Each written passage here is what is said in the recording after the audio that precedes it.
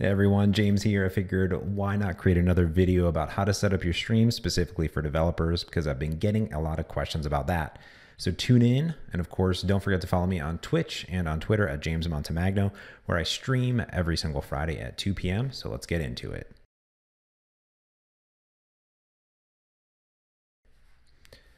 All right, so I've been getting a lot of questions about, hey, how do you set up your stream? What graphics do you need specifically? What are the sort of layers inside of OBS and what does it look like? I figured what better way than, hey, show you my OBS setup. So here we go. I'm inside of OBS here and I'm on my full webcam scene. Um, this is usually where I go, um, specifically when I start my stream. Now, I will say though, what's cool is that I'm logged into Twitch. You can just log in with your credentials. You can see all your activity feed, stream information inside of here, chat, stats. It's just nice to have that on a bonus monitor. Now, of course, I go ahead and um, I actually use uh, two computer setups. So I am connected via an Elgato uh, HD60S over here to my Mac, which is super duper nice, uh, and sometimes to my main computer via an internal capture card. Um, so let me just go ahead and go through the scenes. Now, if you've never been in OBS before, you have scenes and you have sources and sources are the elements inside of your scene. There are a billion videos on how to set this up, so I'm not going to walk step by step, but I kind of want to go through what my stream looks like.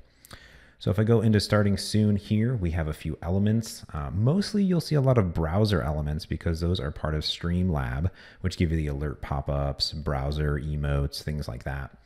Now, I like to have custom graphics on here. So if I hide some of these uh, graphics, you'll see that I have a graphic basically that says starting soon. Gives you my contact information, and that's really about it. On top of that, I have a little um, text to start my stream timer, which is an application that I created. Uh, that allows you to count down the time. So this is nice. I integrated into my Stream Deck and it simply counts down the time and reads from a file. So here when I double tap, I give it the file to read and done. It updates and count down automatically, which is really nice.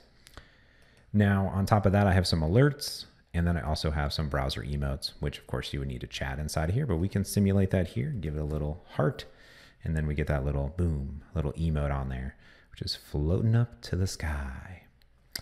Now let's get into my full webcam. This is very, very simple. This is the next transition point that I go.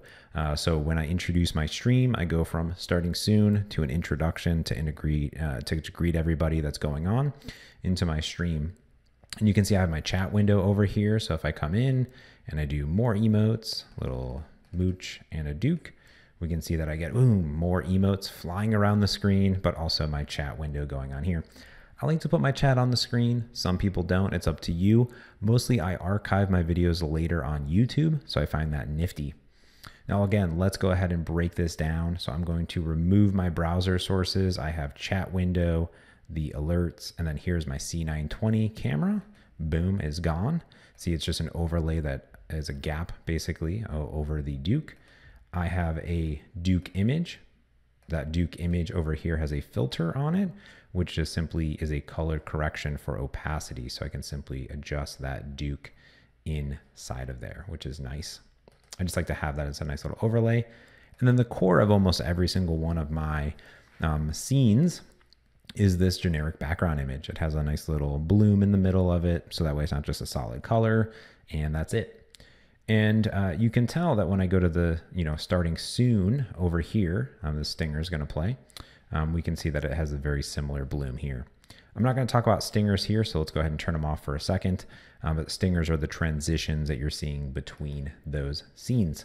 So let's turn these back on. Boom, boom, boom, boom, boom. And remember that the ordering is super important here as well. So the ordering inside of uh, OBS, uh, these are stacking on top of each other. So I always have my alerts to be almost the top layer. Um, here I have the emotes sorting over everything.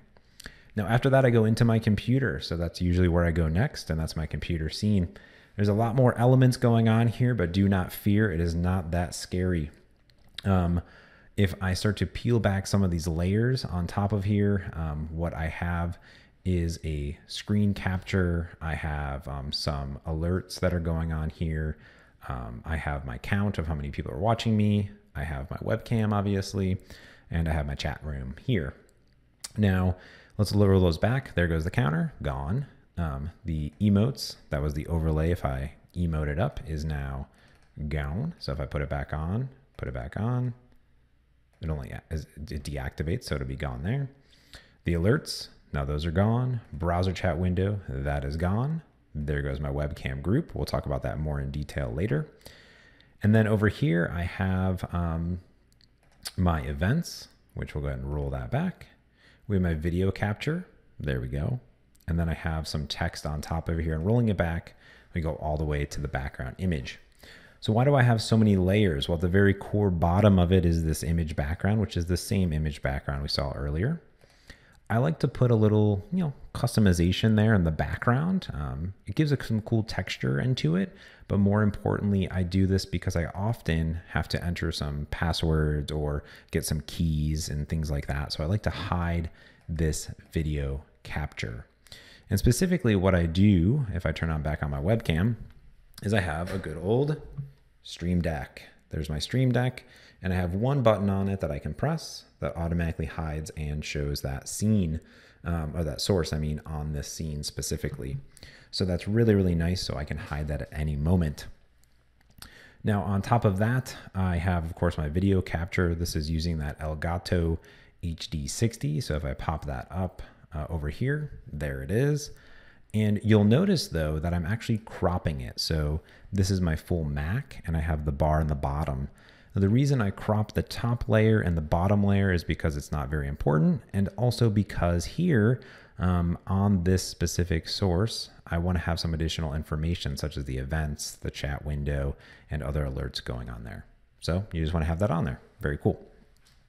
Now beyond that, I have a be right back window. It's just literally an image that says be right back with some text overlay. I of course have the browser emotes, the alerts, always have the alerts on every single page. And beyond that, I have a thanks. And the thanks again is very minimal. There's alerts and browser credits, which is a Streamlabs uh, input. And then this image that says thanks for watching. Just one big 1080p image. That's it.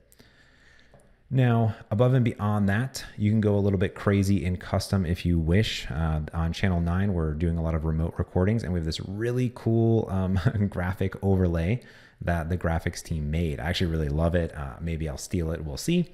This is getting a little bit more professional, I think, than just my slamming some stuff together on there. But it's really, really minimal. Um, it goes the other way around. So it actually stacks the image cutout on top of all of your sources. So if I peel this back, we can see that I simply toggle on and off this graphic. If I pop that up, that's what it looks like there, which is cool. It has this drop shadow on it. I have my, of course, my C920, and then I have the full 1080p. It gives you the full screen, which I think is really, really cool on top of it. Now, of course, here I don't have any of my chat or anything like that on it, but I could easily add those in here to some effect, especially down here if I'm on my Mac, I have my bar. So kind of up to you what you want to show, what you want to do. But I love this um, output in general. Very, very nice. The other question I often get is how are you achieving that magical Xamagon cutout and also not Xamagon cutout? because if you go to my actual computer over here, it's the same exact camera, the C920, but I have this Xamagon cutout. Well, a few things going on here. The first is that this webcam group that we see is actually made of a scene and an overlay. So if I tile that on, we can see that the scene here is that Xamagon, which is very cool. Let me go ahead and pop that back out. Boom. Now, what I want to show and I want to make sure is that how I set this up, I have a scene that has my webcam in it. Now, you can add a mask onto any uh, any source and that will cut it out. So I have a Xamagon source. This was given to me by Kym Phillpotts, which is awesome. And if I look at my filters, the camera if you add it onto the camera, then it is going to apply that every time you add the camera anywhere because it's a single source. You can't have multiple sources of uh, the camera. So you have to have that on there. So what I do is on my scene, I add a filter to the scene. So anything in the scene, which just happens to be my webcam, gets that cut off and it's in the middle and it looks very, very nice. So I have this Xamagon cutout here and then I select the color, which is the alpha mask and I'm done. And that's really, really it, to be honest with you. Pretty cool. So that's what you need inside of OBS to get started. But what else do you possibly need? That's a good question. So what I'm going to do is I'm going to head over into my Twitch page. And uh, the one thing we'll see is that my chat windows are coming up here. I can see all my people I'm following, which is cool. Um, but I also want to show you what you may need inside of Twitch. You can customize your colors. You can also add a profile banner. Some people have it, some people don't. I like to have it because it shows up um, in different areas. And I think my monkey is really cool that my friend Ben Rees made, which is awesome. And then down here, panels. Panels are super important. Um, it gives uh, viewers or when you raid someone and someone else checks out your channel, it gives you information about you, who you are, links to relevant sources like GitHub, Twitter, YouTube, your chat commands, some donation stuff. You can add gear links, chat rules, anything you want. You can edit panels. You can have custom overlay things like recommendations, countdown timers, whole bunch of things. I mostly have these graphics. So you can upload a graphic here, which you see and then link it to something and add a description if you choose. Some people just put images and that's it. And some people do just text, but I like to have these images, a little overlay, gives a little bit more professional to it. Now, that being said, Twitch will soon be rolling out these sort of channel trailer offline mode thingies. I don't know what they're going to look like, so I've just been kind of, you know, toggling with them, I should say. But here it's nice. It says I recently streamed these categories, um, top members of Live Coders, which is cool. And then there's a beautiful about page. So you don't have to duplicate your YouTube, blog, GitHub, Twitter links. You still have panels though. So your about here is not going to give you everything, but you will have a schedule and some of the about. So it should cut down some of that clutter and hopefully is a little bit more mobile optimized, which I think would be great. So one thing you may want to do once you become an affiliate is set up subscriber badges. Now this is when anybody um, subscribes to your channel. It gives them a reason to subscribe besides ad-free viewing, which is super important. But here you can create multiple sub badges and also custom emotes. So I always recommend, even when you first start to stream, it's pretty, it's not like drop dead simple to become affiliate, but if you just go at it enough, you can become an affiliate. Um, and I think it's really important to at least start thinking about your subscriber badges. You can do one, three, six, nine, and one year, and beyond one year now too. I have three, um, one, three, six, and one year, which were the original. I'm gonna have those custom made. And then you have custom emotes. Every channel starts off with one. So, and you can have more the more people subscribe. So at least create one custom emote. That's the very first thing you do. Maybe it's your face, maybe it's some words, something like that you know, look at what your subscribers um, are, are, like, what you're like, some some information there, and you can see this background banner here too, which is kind of cool. So at a high level, to get started, just do some of the very simple things inside of OBS. Now, of course, you don't need to do all of the crazy things that I've done before inside of OBS.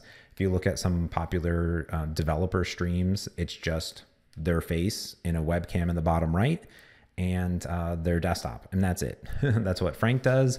Um, he has some custom setup on his machine. It looks great. I mean, to be honest, you don't need all that much. Once you get more into it, I, I think it's definitely worth investing a little bit and taking some time to add some character to it. You can go on Fiverr, you can create it yourself. Uh, it's really up to you and what you want your stream to look like. But know kind of that you don't need tons. You can just get started with simple text and a color background if you want, uh, and then put your webcam on there. Could just be the whole thing, 1080p, doesn't matter. Um, and, and that's really about it. So, anyways, I hope that you found this uh, informational, um, helpful to get started with the stream um, and get up streaming what you actually need to get started, and just a little bit once you get beyond and you hit that affiliate status. Anyways, make sure you subscribe to the YouTube channel, my Twitch. It's just all James Montemagno, and I stream every single Friday at 2 p.m. I'll do some more videos on my Streamlabs integrations, my Nightbot integration, a few other things that I think are nifty. And of course, if you want to hear more, check out me and Frank every single Monday on our podcast Merge Conflict at mergeconflict.fm. And I'll link specifically to one of the podcasts where I tell him about some of the things that he needed when he got started streaming. It's pretty cool. I really liked it. And he's doing an awesome job. Yeah. So, anyways, hope you found this helpful. Leave comments if you want to see more informational videos like this and have a good one and stay safe.